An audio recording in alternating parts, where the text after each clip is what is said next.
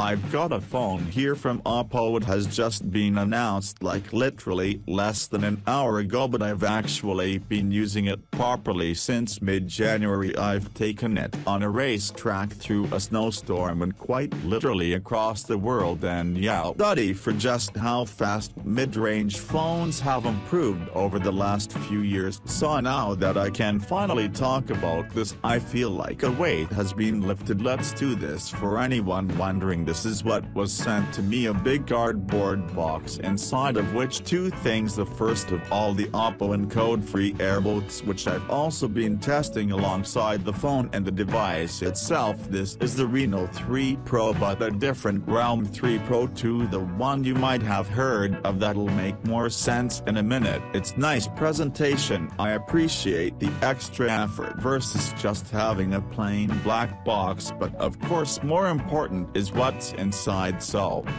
There's a sleeve with instruction manuals and a clear TPU case standard stuff but it is good to see a fast. 30 watt charger and not just a USB-C cable but a pair of actually decent quality earphones. Now you might have already heard this name before Reno 3 Pro and that's because Oppo released Reno 3 Pro in China December last year but this phone is the international version of the Reno 3 Pro and it's a completely different device with that out the way. Then there's a lot to talk about here but I'd be lying if I said the focus was anything but the six cameras dotted around the phone. They're not what I expected but I'll come to this. The Reno 3 Pro is priced at around $430 so with that in mind my first impression was that it feels okay. I'm A fan of the Aurora blue coloring on the back and the Reno is yet another reminder that every time I think I've seen every possible way to do a smartphone gradient finish I'm wrong with the Reno 3 Pro. The light rays start from the bottom red corner and kind of shoot outwards. I would have personally preferred a glass finish but the silver lining to these plastic materials is that the phone is featherweight considering that it has a 4020 25 mAh battery in it and let's talk about that for a second as I mentioned I've taken this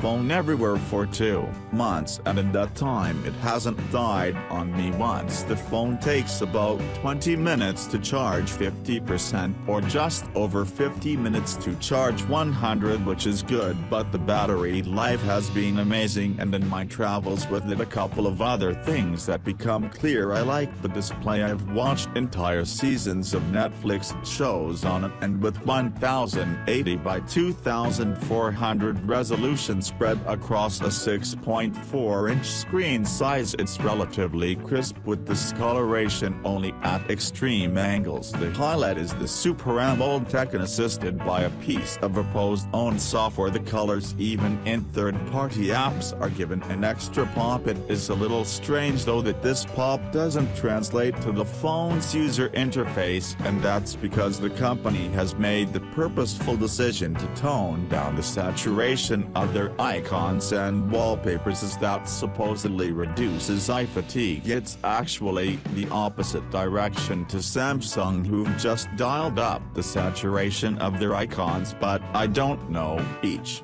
of their own I mean what, would you prefer just for a bit of fun really? I pulled out the Oppo R11 and upper mid-range phone from about two and a half years ago and it's kind of astronomical the jump that's been made in this segment. In particular you'll also notice the dual punch hole cameras previously seen on the likes of the Samsung Galaxy S10 Plus and I said this before for the hole punch. I'm personally a fan like every time I look at this phone from the front. I've had that subtle reassurance that I am actually looking at a modern sophisticated piece of technology in my eyes. It is so much better than a notch. The other thing I noticed while watching shows on the Reno was this little bar on the side. You can turn it off if you don't like it but the more I started using it the more I found it to be weirdly exciting. As of now it only supports a few applications but it feels like a taste of how smartphone. Multitasking should be you can reply to a message without leaving a full screen video or browse the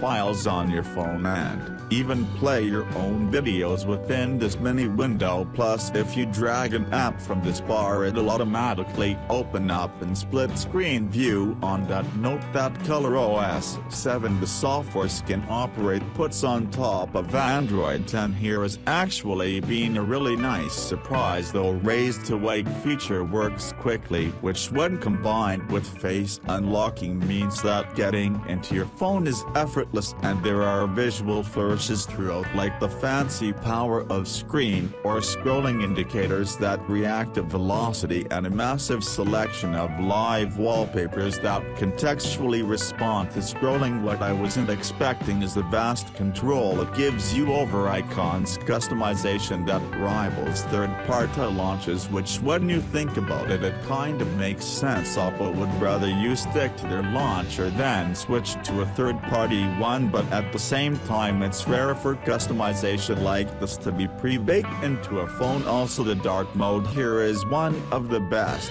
when you turn it on it covers the 200 most used apps everything from the Play Store to YouTube to the file manager to Instagram and saves more battery now just before I get to the cameras. Worth noting is performance because we're quite used to seeing Qualcomm powered mid-range phones but Oppo I've gone with MediaTek instead with I guess the silver lining is that this is world's first smartphone to use their Helio P95 chip. It takes the Helio P90 that you might have seen last year and then it bumps up the GPU and the connectivity, it's not a game-changing improvement more of a case of keeping up with the times and they paired that with 8 gigs of RAM and pretty generous 256 gigabytes of storage. I found that 2D and 2.5D games there was a non-issue but it's good to see the even Call of Duty Mobile was fine on high settings. There were a couple of even heavier games I tried once that might not have been as well optimized and for them frame rate was lower still playable but not 60 frames per second.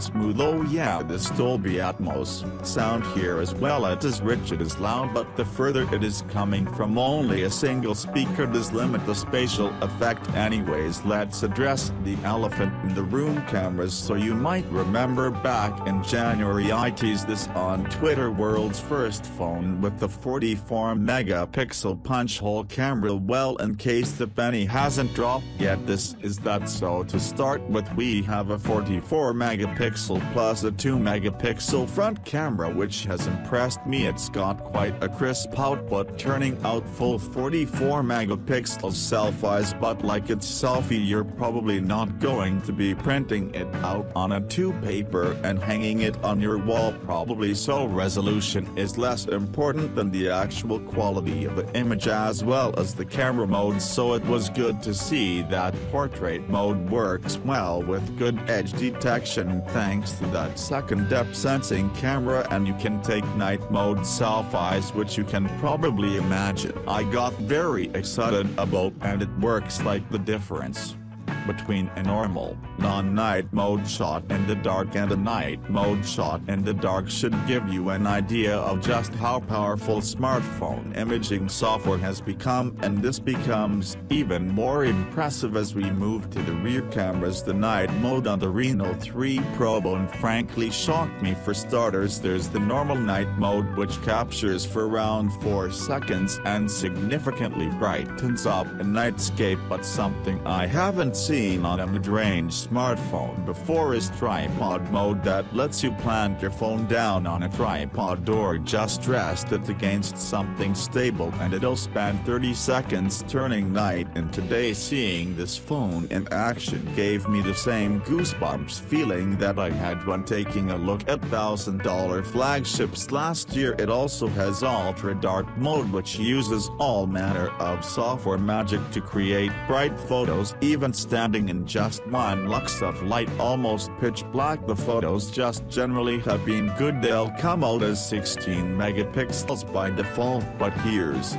where it gets interesting. If you tap on the settings menu you can switch up to capturing full 64 megapixel shots. But then if you go into the pro model of the camera you can turn on Ultra HD which shoots a 108 megapixel photo was using a technology called subpixel interpolation. It's effectively estimating extra pixels. It's an interesting concept but in my testing I should get the best results from 64 megapixel. I'll let you be the final judge on that one though the company is also quite proud of their 2x zoom and their ultra-wide cameras and what they do well is they keep colors fairly consistent as you move between them. So this is me bit by bit zooming through the entire focal range and you almost don't realize it's changing lenses and you can still snap a good photo at 5x zoom. The video quality is okay. It's about what you'd expect which is to say if you use it well the ceiling for what you can get is high. What I did think was cool though is that when you head into video and you get an ultra steady mode and to dial it up even more, Ultra Steady Pro which uses the wider angle camera. I mentioned that I took this phone to a racetrack. Well a big part of why is to use this Ultra Steady feature considering there's no actual optical image stabilization. It's impressive what they've done with software alone. And finally, the phone's got an optical in-display fingerprint scanner it's got a monster of a SIM tray supporting two SIMs plus a microSD card and it's got a headphone jack. So yeah that's the Reno 3 Pro International Edition. This has been fun. Thanks for watching and see you on my next video.